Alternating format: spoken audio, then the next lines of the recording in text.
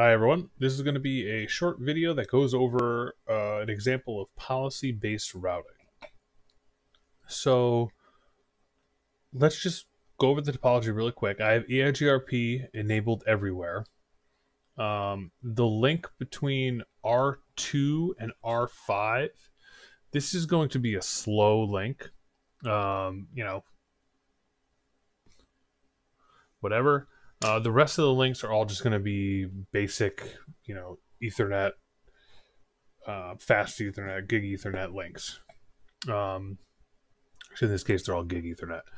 So what we're going to do is take a look from R1's perspective and see the path it takes to get to R6.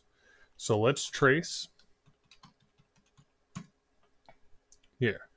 And not very surprisingly, uh, due to that slow link, the traffic hits R2, comes down to R4, and then heads over to R6 this way. Now, what we're going to want to do is we're going to try to policy route this traffic to go a different way. Let's policy route it so that it goes from R1 to 2 over the slow link to R5 and then down to R6. Now, we don't want to mess with metrics to do this. Um, let's just say in this example, because we don't want to change the bandwidth on this slow link, we still want the other routers to know that this is a slow link. So what we're going to do is do policy routing. So we'll head over to R4 because R4 is the decision maker here. R4, I mean, sorry, not R4, R2. R2 can say, hey, let's go down to R4 or to R5. So since this is the decision maker, this is where we're going to want to implement the policy routing. The first thing we're going to want to do is we need to create an access list.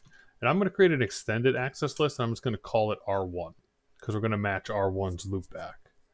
Um, so we're going to do, and actually, before I do that, I think when I did this trace, I didn't actually do it from the loopback. So I should just source it from the loopback so you can see it does the same exact thing, two to four to six. So let's head over to again, and we're just gonna match the um, host address of 1111 going anywhere. Now what we need to do is create a route map. This route map will be our policy routing. And what we need to do is match the access list that we just created and then set the IP next hop. And in this case, our next hop should be this link here, which is going to be 10.0.25.5. All right. So now that we have this, we have to figure out where to implement it. Now, with policy routing, what you need to do is implement it on the incoming interface so we're gonna need to take this, and let me. I'll just do black. That's fine. When the packet comes into to this link, this is the link that needs to to set the um, to set the next hop. so basically, what's going to happen is the traffic is going to come here. It's going to take a look at this route map It'll match this IP address, which we know is 1.1.1.1, and then it'll set the next hop to R5. So when it comes back, even though this is the route EIGRP is approved, um, EIGRP is choosing, due to the policy routing, we'll send it out this way. So let's go ahead and go to this interface of Gig 112.